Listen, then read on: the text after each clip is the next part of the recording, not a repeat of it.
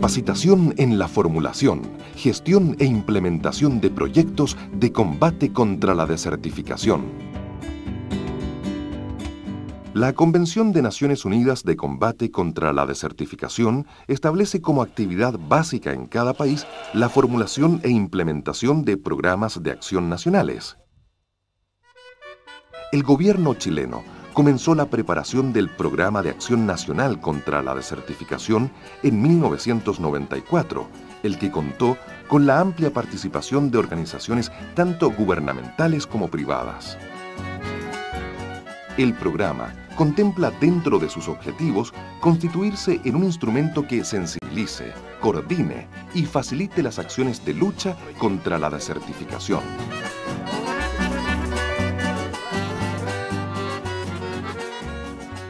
Los procesos de desertificación constituyen un fenómeno complejo, gestado a lo largo de mucho tiempo, que hoy afecta a más del 60% del territorio nacional. Esto se expresa en pérdida o reducción de la biodiversidad, erosión, disminución de rendimiento de los cultivos, pobreza y finalmente migración rural el propio afectado es el llamado a buscar las alternativas de solución a sus problemas. En el país se han realizado múltiples acciones para combatir la desertificación, las que son ejecutadas por diversos organismos, tanto de gobierno como de la sociedad civil.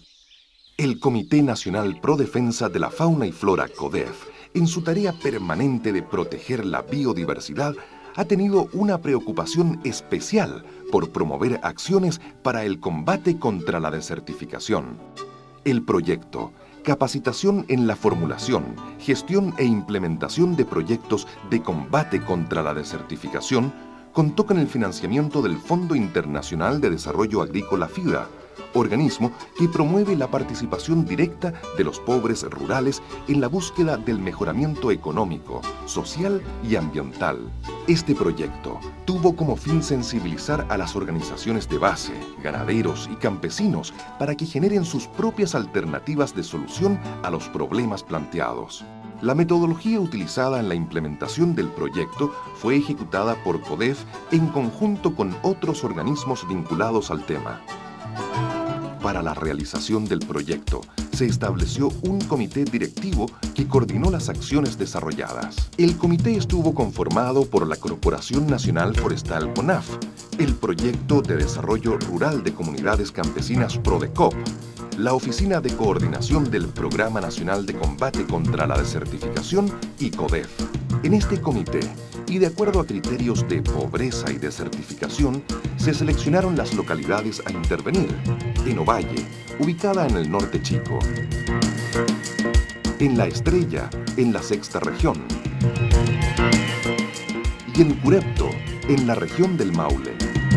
Una vez seleccionados los lugares, se realizaron talleres comunales donde los líderes locales tuvieron conocimiento del proyecto y del marco del mismo. Una vez conocidos y aceptados los objetivos del proyecto, se realizó una consulta a las comunidades donde se inscribieron los participantes. En aquella reunión se procedió a definir el equipo de trabajo local, integrado por representantes de las comunidades, unidades de extensión y la ONG coordinadora.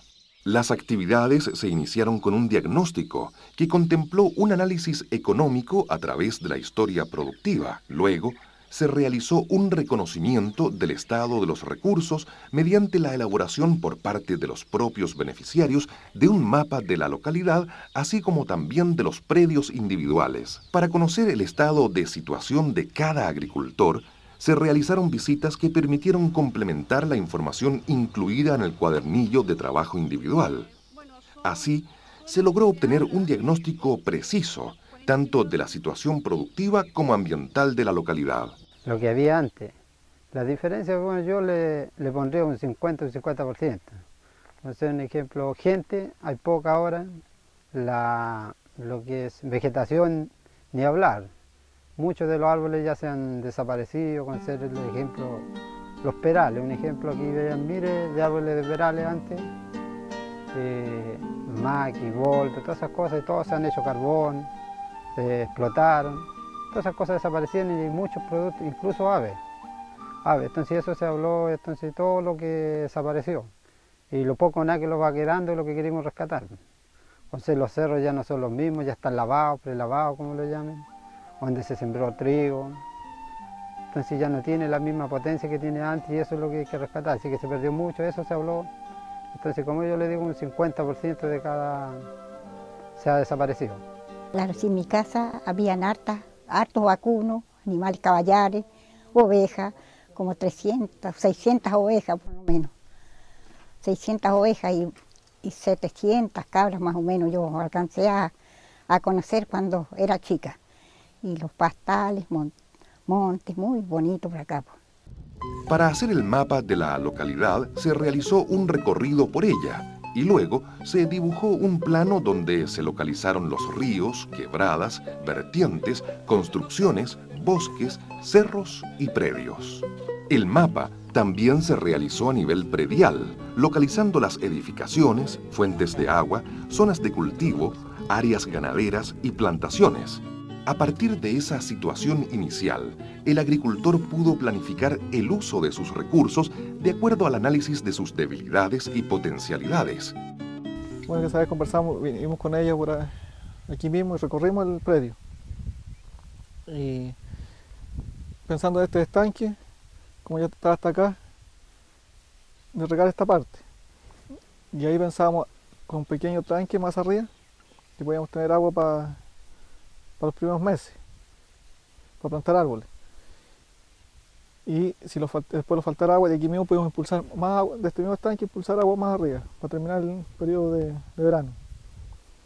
Esa es la idea, aprovechando más esta ladera que está prácticamente pelada. La práctica de las matas que hay nativas que dan harto poco. Por eso compartimos ya con esos olivos y viendo cómo va eso, el futuro era seguir plantando más hacia arriba. Con la información recopilada, se priorizaron los problemas de acuerdo a los intereses manifestados por las propias organizaciones campesinas.